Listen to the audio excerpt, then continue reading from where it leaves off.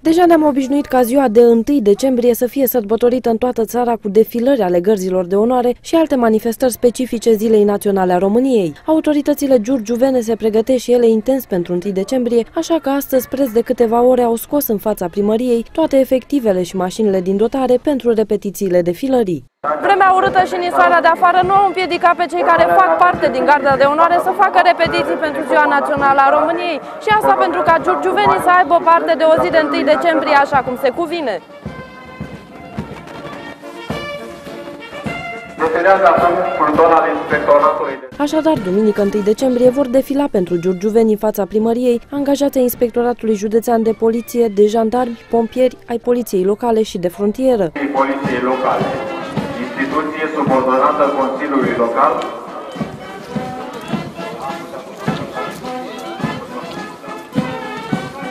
Consiliului Local și aflată permanent la dispoziția cetățenilor.